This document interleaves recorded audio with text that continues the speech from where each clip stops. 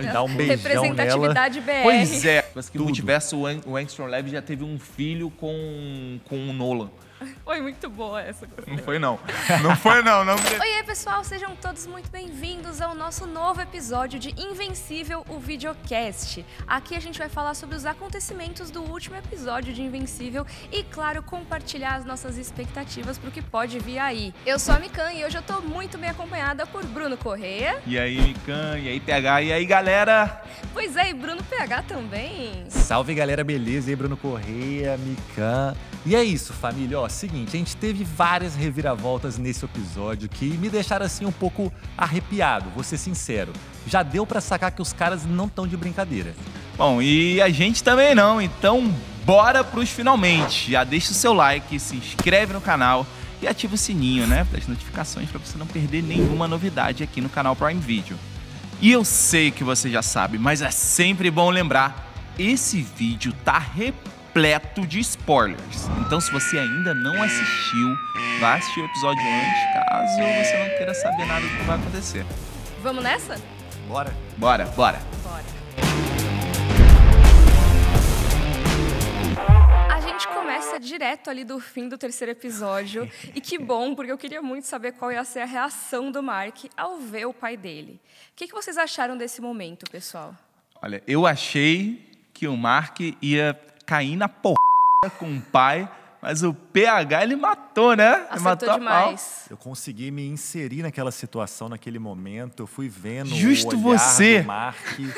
e aí, na hora que foi um fechando a mão pro outro, eu falei, ó, acho que eles vão se abraçar, quer ver?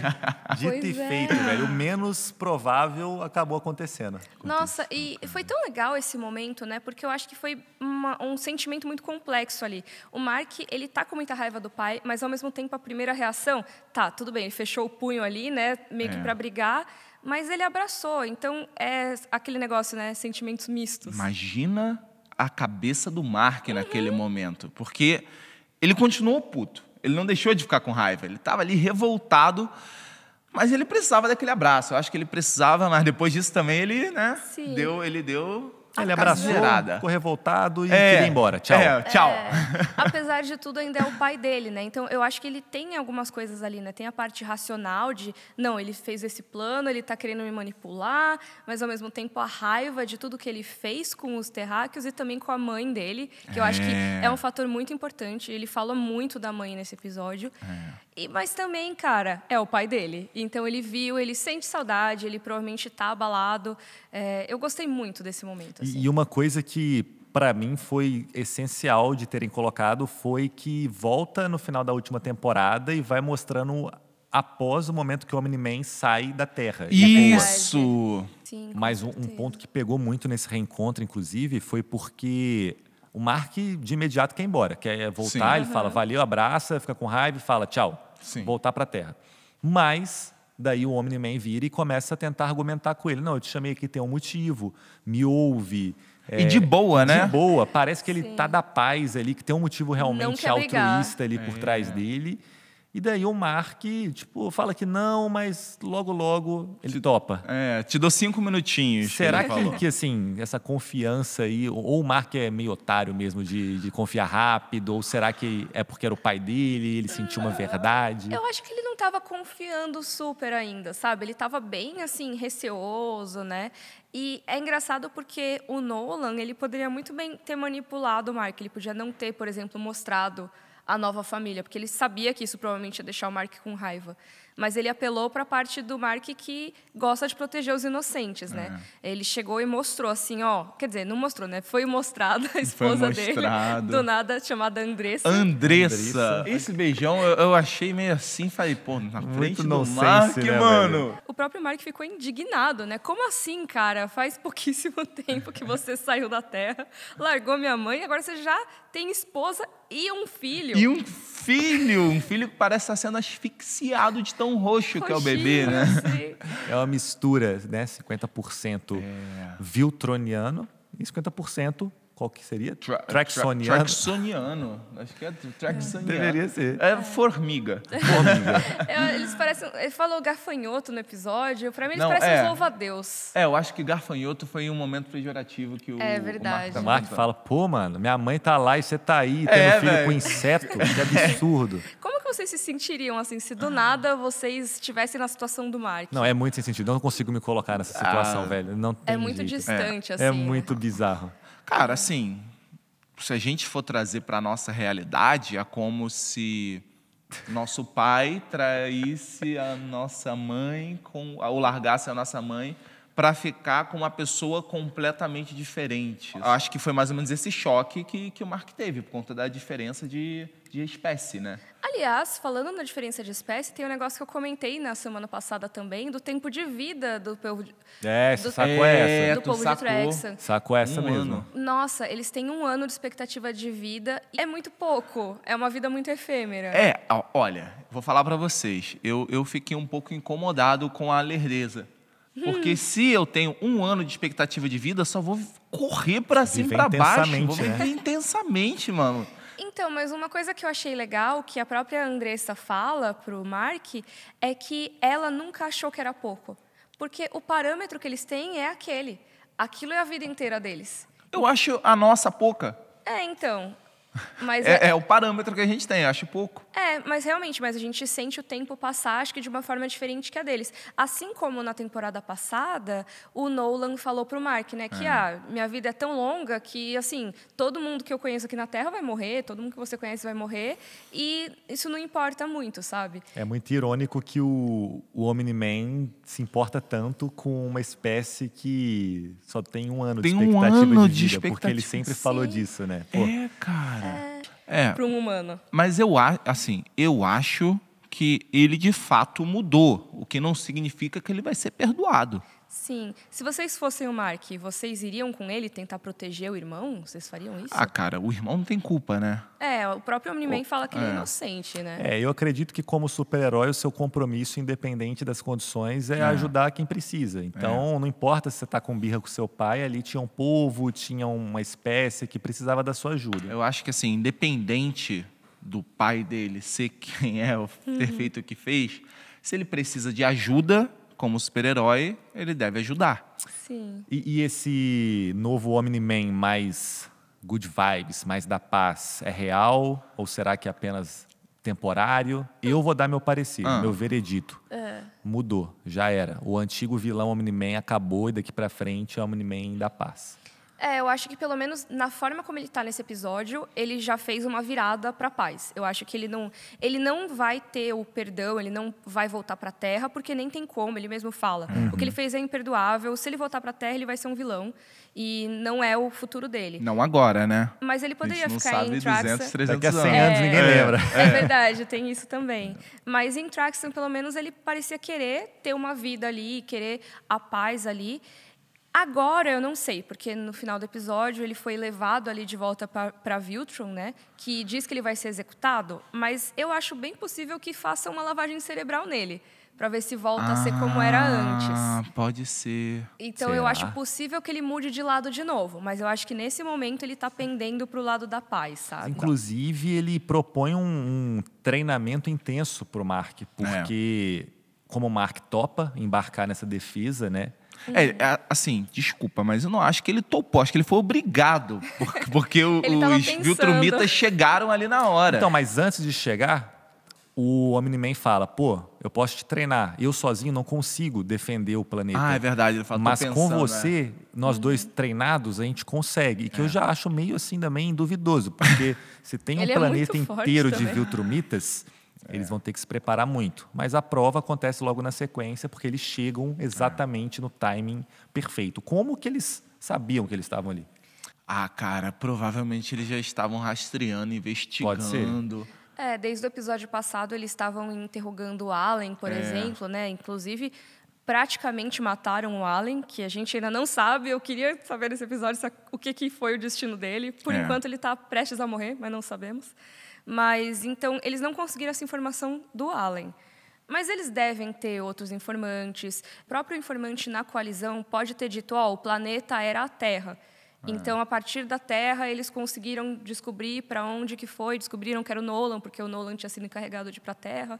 Então, e nesse episódio aconteceu a verdadeira porradaria que a gente esperava, né? É, você tava como? Quero ver porradaria, No quero ver sangue. episódio eu falei, é briga de gente grande nesse episódio que eu queria ver. E foi isso, porque os Viltrumitas, na hora que chegaram no planeta, já eram os mesmos do último episódio, que bateram muito no Alien, Sim. muito fortes. Ai, sim. E a gente sabia que ia, que ia dar no que dá ali. É. Nossa, eles realmente eram muito poderosos, né? Tanto que, mesmo unidos, né, o Mark e o Nolan não são capazes de derrotá-los, né? Eu acho que É, tipo assim, na verdade foi quase, foi né? quase. Foi quase. Eu é acho que aquele que primeiro cara, ele, ele quase não- morreu, mas não morreu. É, não contavam que ele vinha aparecendo, dar uma voadora com o intestino pendurado Na pra capinha fora. dele. É, segurando. por não tá segurando intestino aqui na capinha, Os caras deixa eu quebrar a são zero, zero senso de, de dor e de tudo. É muito, muito bizarro. Eles são tipo espartanos mesmo, né? Assim, eh, imagino que pior que espartano, né? Mas pelo menos essa ideia de espartano na cultura pop, que os caras que têm aquele treinamento muito rígido. Que não importa, vamos pra frente, né? Tipo o Exato. Cyber Shield, vambora. É. E teve uma virada do Mark muito boa também nesse episódio, que Teve. parece que nem ele sabia a força que ele tinha. E ele descobre na batalha contra aquela Viltrumita de mais idade, que era mais senhora. Inclusive Que- aquela trança dela. Não, e que hora. skincare, hein?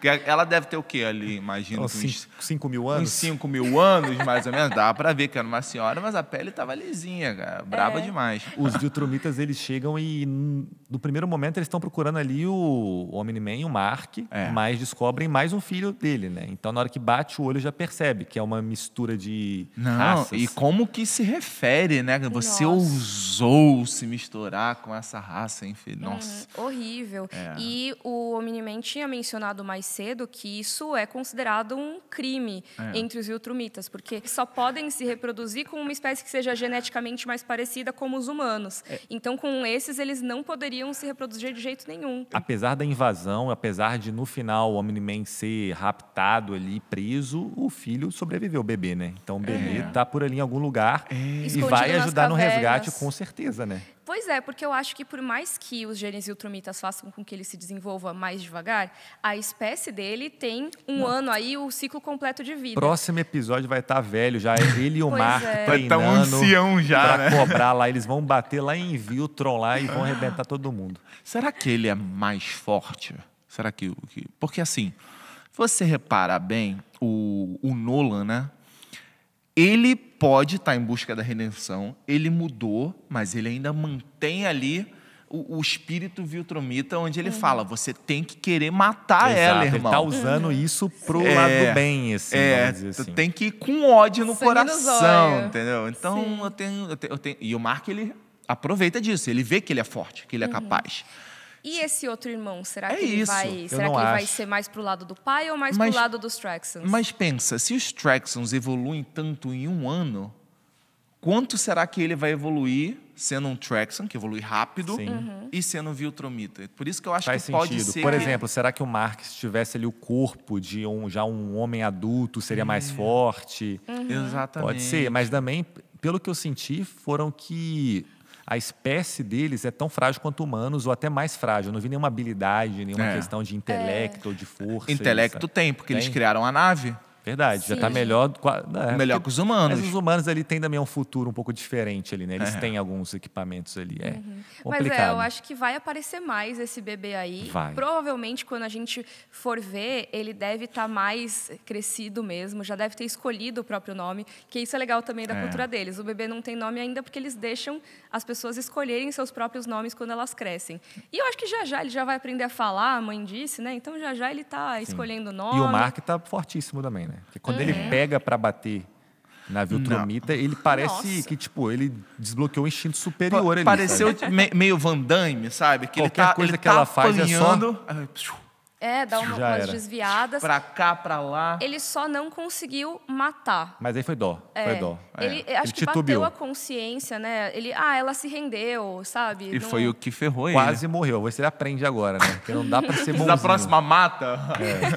Sim. Mas é aquilo, né? É a coisa do herói. O herói, ele não quer matar e é meio que a falha que não é exatamente uma falha. É o ponto fraco. É, é, é. um ponto forte moral, mas é um ponto fraco na batalha, né? É. Eu vejo que o Mark muito provavelmente não vai mudar isso. Eu acho que ele ainda vai ter muita reticência em matar.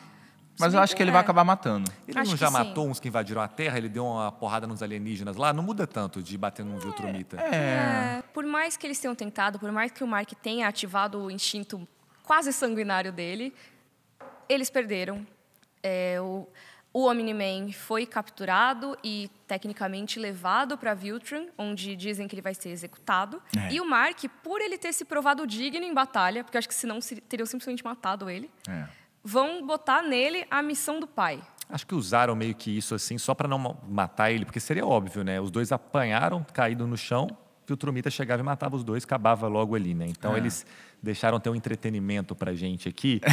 Leva o o Omni-Man herói, de né? volta, deixa o Mark pra se provar ali, mas é o tempo que ele precisa pra se preparar pro resgate, que eu sei que vem. É, mas que Uhum. dilema também, né, do Mark agora, porque ou você volta pra Terra e conquista tudo matando um ou outro, ou a gente chega e mata geral. O que, que você quer? E o general lá, o capitão, Nossa! bravíssimo. Nossa, Deve ser sim. insano aquele ali. Não, eu, eu quero saber como que ele perdeu o olho. É, tem que ser alguém muito forte Tem que pra ser alguém muito dele. forte. É. E tem uma coisa, né, que antes de ser levado, o Nolan fala pro Mark: leia meus livros. Pois é. Entendi nada. Pois é. Virou autor agora. Eu acho que ele deve ter alguma mensagem oculta ali. Talvez como chegar em Viltrum, alguma Sei coisa tá desse vendendo tipo. curso, homem. Alguma coisa É, assim. o, é o mano. livro de coach dele, né? Como melhorar seu bigode. Alguma coisa assim, bicho. Será que tem alguma pista, alguma coisa assim? Eu imagino que Deve ter tenha, de né? como chegar lá, de como invadir, de qual que é o ponto fraco. O ponto Deve ter fraco seria coisa. bem É, interessante. ter. Só que o Mark tem que correr para a Terra para ler esses livros, porque a Debbie acabou de deixar eles para fora de casa ali, acho que para doação. É, não, mas, Desapegou, ela queria desapegar mas dos é, livros esses ali. livros eles foram publicados, não? Não, Será que eu ele- acho que ele escreveu guardou. Mas mesmo se tiverem sido publicados, talvez a edição dele é que tenha alguma mensagem. É, eu acho que o que ele quis dizer é, é isso, sabe? Eu acho, porque Pô, ficou muito parecido foram- na hora que estava doando ali, de que, pô, ia perder a informação que era essencial. Eu senti isso. Nossa, eles foram sagazes. É, e né? ela tava, né, tirando as coisas de fotos, álbuns de fotos. Ela falou, ah, não quero os livros dele, não sei o que, não sei o que lá. E ela deixou as caixinhas lá para doação cheias de livros do Omni-Man.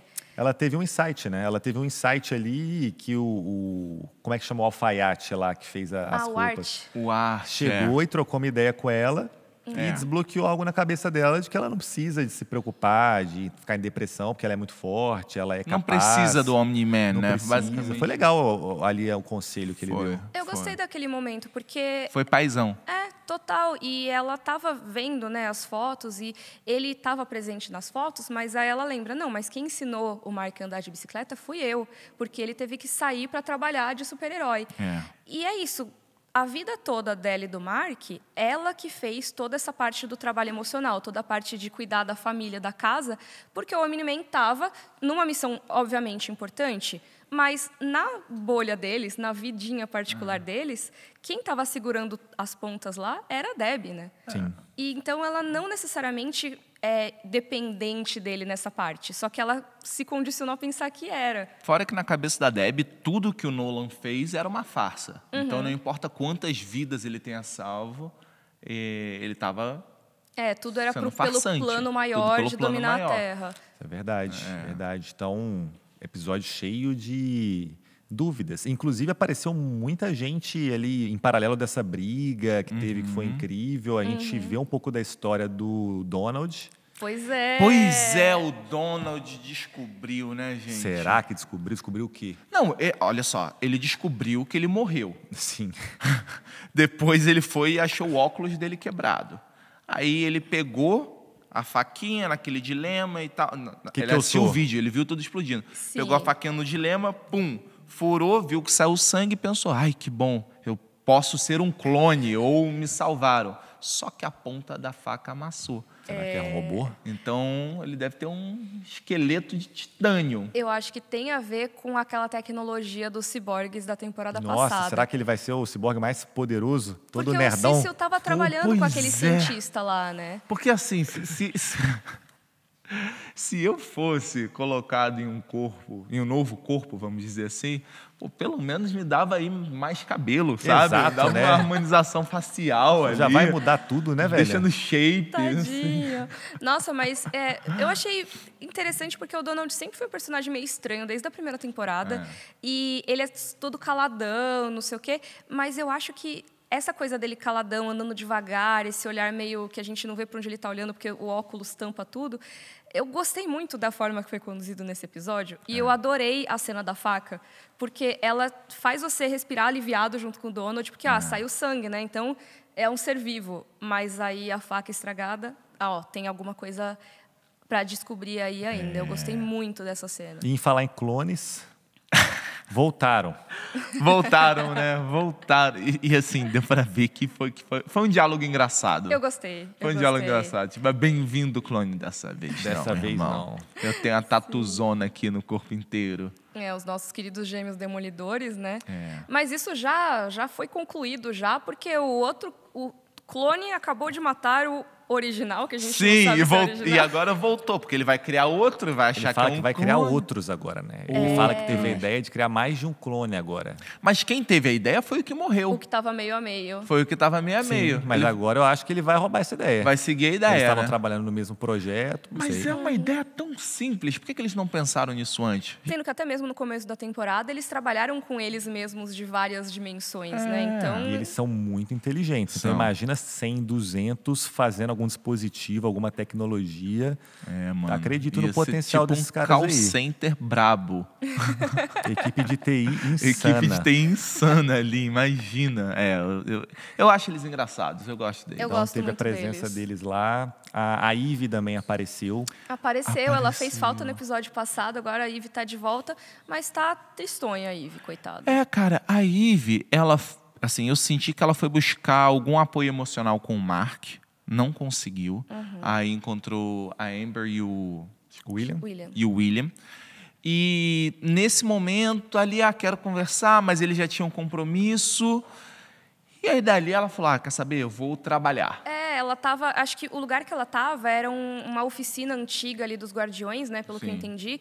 E o robô tinha guardado um artefato lá. O que, que era aquilo? O que, que vocês acham? Me, me pareceu ser um reator de muita energia, de muita Uhum. potência, porque na hora que ele coloca na- no braço de canhão, ele fica muito forte. É, eu tive essa impressão também. Eu acho que é isso. Só que aí a Ivy vai tentar impedir. E com isso, ela, usando os poderes, desvia ali um, um tiro dele, acaba atingindo um carro que cai da ponte depois de toda a treta, né? Sim. E aí é novamente aquela coisa que o pai dela tinha jogado na cara de, ó, você usa seus poderes, mas não pensa nas consequências, não pensa o que isso pode impactar. Nesse caso, indiretamente, ela causou a possível morte daquele casal que estava no carro, né? É. A gente não sabe se eles morreram ou não. Acho que é por isso que ela fica, por favor, estejam vivos. Por isso que aparece lá no recap a cena do parquinho afundando e tudo mais. E aí você vê a Ivy chegando em casa e o pai, entra. Ela volta, né? Ela vai É. e fica mó clima ruim. Ela tá na bad, coitada. Será que ela não, não vai, sei lá, ficar do mal? Acho que fica do mal não, mas eu, eu acho que não vai fazer bem ela ficar junto com a família dela. A gente viu no episódio da Ivy como foi terrível esse É. crescimento dela junto com a família, assim. Eu acho que ela podia ter voltado pelo menos para casa na árvore, para ficar mais de É. boa, sabe? Acho que ela já enjoou, já cansou também da casa da Não árvore. sou muita O que natureza. ela tá querendo? Eu acho que ela tá querendo é umas amizades pra ajudar ela a ser super-herói. Uhum. Por que ela não entra nos Guardiões? É, ela, ela podia, né, voltar, ou então, pelo menos, entrar na universidade. Ela é tão inteligente, né? Ela podia estar lá junto com a Amber e o William. Eu, eu, eu acho que assim, acho que a, a Ivy, ela tá lutando com aquele dilema que provavelmente todo super-herói vai enfrentar de que você não pode salvar todo mundo. Uhum. Você vai tentar, mas alguém vai acabar morrendo. E deve ser um, algo muito difícil, porque você Deve. quer salvar todo mundo, sabe? Uhum. E não sei, acho que agora ela precisa de terapia. Nossa, Essa total, série, muita precisa. gente precisa, É, inclusive. né? é, pois é. Precisa de terapia. Ele tem um herói super terapeuta. Chegava Skills absurdos. Deveria ter. Sim. É aquilo para explicar para ela, né, que ó, beleza, você desviou esse tiro e atingiu tal pessoa, mas o que o Canon muito provavelmente vai usar esse tiro em outras pessoas diretamente. Você poderia ter impedido ele. É, foi um side effect, né? Vamos É, dizer assim. acontece nessa. A gente vê muito em histórias de super-heróis, né? Que a cidade toda é destruída na batalha e pouco se lida com quais são as consequências dessas batalhas, né? É. Escombros, essas coisas assim. É aquilo, se você pudesse, tem um trem vindo para poder matar 10 pessoas ou todo mundo no trem morre, quem que você salvaria? É, Eu acho que é essa a questão. Ou um poodle. Já O viu poodle, uns que tem assim? o poodle, o poodle. Voltando aqui para a treta final do episódio. Tá. O General Craig ele mandou um ultimato ali para o Mark para ele ir para a Terra e preparar o planeta para a invasão dos Viltrumitas. Sim. O que, que será que o Mark vai fazer? Será que ele vai topar para tentar salvar mais vidas? Porque falaram que se ele não topasse, eles iam matar milhões, né? Ele vai usar para treinar, se preparar. Ele não vai ajudar. eu Então, acho. assim, eu acho, eu, eu sigo a mesma lógica do, do PH. Eu acho que ele pode falar, não, tá bom, eu aceito. Aqui, ó. te aviso. Ó, morreu, tá? Dá aquela piscadinha assim. Tá tudo certo, tô Tá cuidando tudo de certo. tudo. Ele tá treinando. Tá lá, Com o irmão dele. Trincadão na academia, com o irmão, é verdade. E aí, quando chegar a hora, dá tudo errado, porque os Viltrumitas são muito fortes. Eles vão tentar resgatar, chega lá, tem 50 milhões É, de aí- Viltrumitas esperando. Aí acabou. É, porque é isso, se foi tão difícil lutar contra três deles, né? Mas será que ele vai. Mas primeiro, será que ele vai levar o irmão dele para a Terra? E segundo, será que ele vai acabar ficando mais que nem o pai, mais impiedoso, talvez? Ou até lendo os livros do pai, concordando que é melhor dar a Terra para os Viltrumitas? E o irmão? Será que o irmão não vai herdar a personalidade do pai? Hum. Se achando mais forte do que todo mundo? Até porque ele vai ser mais forte do que Não, e todo será mundo. que eles vão sequer querer salvar o pai? Juntar e ir É. resgatar? Ou só defender a terra mesmo? É, o irmão não tem... É, é um bebê, então não tem daqui a pouco pelo já pai. vai ser, daqui a pouco já vai. Daqui a duas semanas ele vai ser Próximo grandão. episódio, 40 anos de idade já nas costas. É, cara, eu não E, sei. e o Engstrom Leve, cara? O que, que ele vai entrar nessa Cadê? história agora? Pois é. Onde está? Aquela grande cabeça pensante dele, o que, que ele vai fazer? Ele deve estar fazendo massagem no couro capeludo dele, que precisa Cara, de muitas mãos. Precisa de muito, mano. Porque ele sumiu. E ele vai É. ser importante, com certeza. Eu acho que sim. Assim, eu não consigo pensar nenhuma forma atual do Mark treinar o suficiente para poder acabar com os Viltrumitas. Eu penso, eu penso em diversas possibilidades. Minha cabeça começa a viajar assim, tipo, ah, sei lá, fala com um robô, se junta com os irmãos, faz vários clones do Mark e, sei lá, explode, porque a gente tem tecnologia. Os humanos têm tecnologia. É, mas como enfrentar os, Viltrumitas, eu não sei não, É, cara. é verdade. E o general fala que eles vão em breve para ver como É. está o progresso do Mark. Então não é que é Mas daqui o a que que 10 eu- anos. Em breve não, mas em eles. breve deles é. Em 30 breve anos. pode ser daqui, daqui uns 400 anos. É verdade, A gente tem vai isso ver se, se também. você já cumpriu tua missão, sabe? É, isso é verdade. Eu acho que ele vai encontrar alguma coisa naqueles livros lá que vai dar uma luz para ele. O quê? Eu não sei. A fraqueza, a fraqueza dos Viltrumitas. Isso né? ia ser legal. Ao mesmo tempo, e se essa fraqueza cai nas mãos do Engstrom leve antes? É, tipo, teoricamente, o Engstrom Leve já era pra saber, né? Hum, talvez. Porque em alguma realidade ele já viu. É Ele verdade. tá viveu. descobrindo, né? Tá investigando. É, o Engstrom Leve estava né, entrevistando o Mark daquela realidade para tentar descobrir ali as fraquezas. Então, acho que ele ainda está prestes a descobrir. Mas, ó, pessoal, agora que a gente já está no quarto episódio, eu queria saber qual que foi a melhor luta até o momento Hum. para vocês. Melhor luta. Cara, pra mim, definitivamente Dessa foi, temporada. É, foi, foi a clipagem ali entre os Viltrumitas, o Nolan e o Mark. Pá, pá, pá, um batendo aqui, esmaga aqui, dá um carinho na cabeça, explode. Nossa, a cabeça do Viltrumita lá, meu Deus. Essa foi muito boa. Essa a, a melhor muito boa. cena, inclusive, é a senhora Viltrumita dando uma mordida no cotovelo do Omni-Man e ficando de exemplo. uma Não faça isso. cotovelo. Nunca É. morra do cotovelo.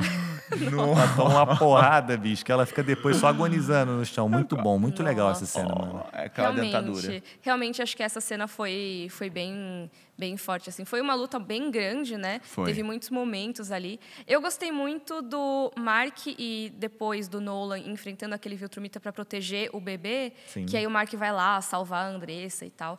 Eu gostei dessa parte. Andressa ainda é Andressa muito é um bom, nome né? muito comum, né? É, muito é. mundano.